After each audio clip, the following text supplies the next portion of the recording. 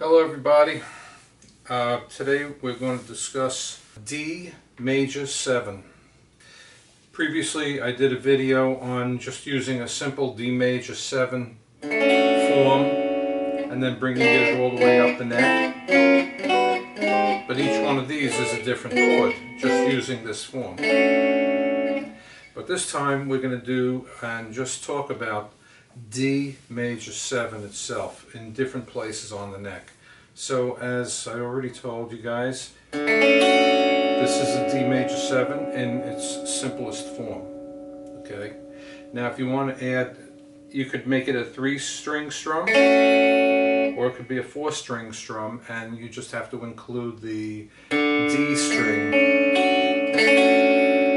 Now if you want to make it a little bit more interesting, you can add fingers uh, three and four. So you maintain this little bar over here, then you add finger number three or your ring finger on the fourth fret of the D string and you put finger number four or your pinky on the fifth fret of the A string and what you have is a nice full D major 7.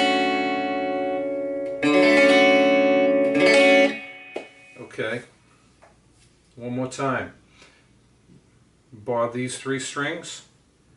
Take your ring finger, fret number 4 on the D string, and your pinky on fret number 5 on the A string, and strum 5 strings. There you go. Okay, another real nice D major 7 is over here on the 5th fret, where your pointer finger is at the 5th fret this takes the uh, A major 7 shape, except you're putting your pointer finger down. So in other words, A major 7, when you put your pointer finger down, this becomes B flat, B, C, C sharp, D. So we're talking about D major 7, so that's what you got here. So in a simple form, or a four string strum, we got your pointer finger on the fifth fret of the A string. You got your ring finger on the seventh fret of the D string. Your uh, middle finger is on the sixth fret of the G string and your pinky is on the seventh fret of the uh, B string. And it's a four string strum.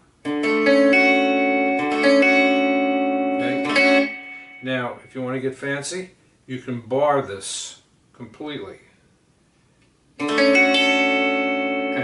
the bar will take care of the high A note, which is on the fifth fret of the high E string.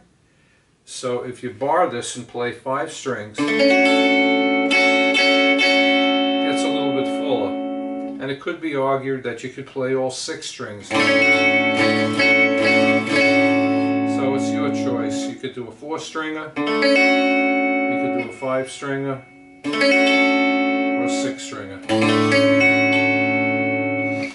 Okay, here's another one that's not too hard to play. Uh, you could use an open D string. And this is based upon the shape of a D, D minor. But as you bring it up the neck, the name of the chord changes. Your fingers don't change, so if you bring the D minor shape up to, let's call it the fifth fret where your pointer finger is, and pluck these four strings, you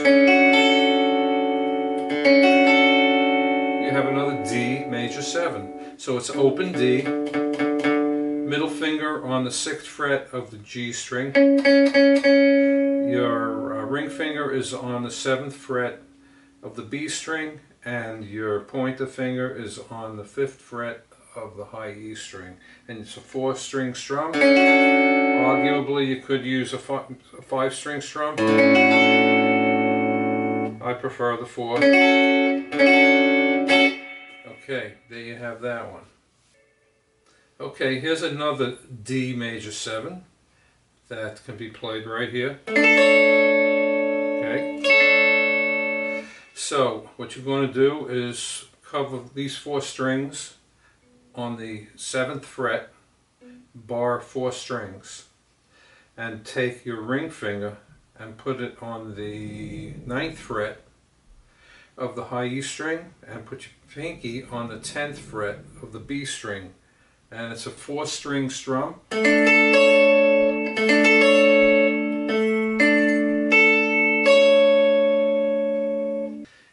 Okay, here's another form of the D major 7. It's played like this. So it's a four string strum. What you want to do is bar these four strings with your pointer finger on the 7th fret. Then you could take either your ring finger or your pinky and put it on the high E string on the ninth fret.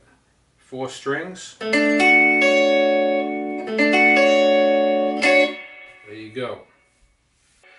Okay, here's another D7 that's played like this, uh, which really is a takeoff on the F major 7. So what you're doing is you're going to make the F major 7 and you're going to bring it up to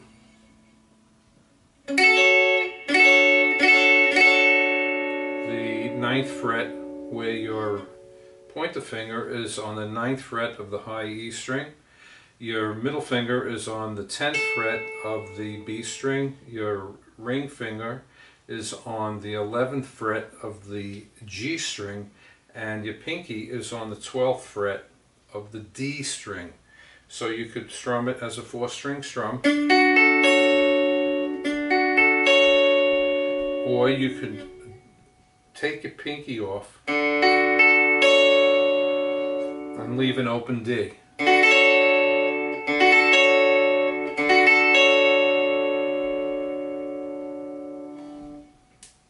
Okay, here's another D major 7 up around the 12th fret. Middle finger is going to hit two strings.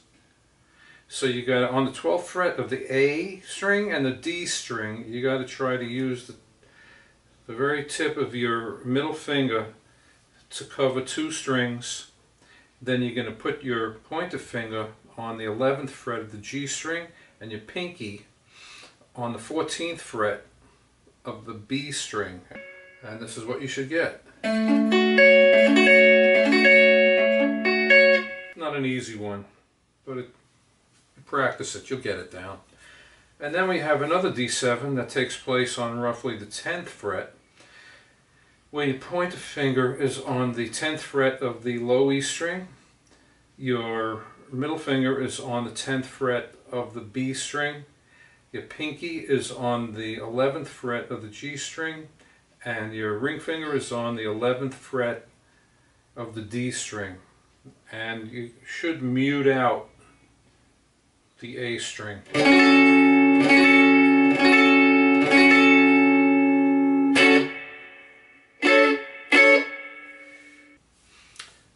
I hope that helps you. Take care.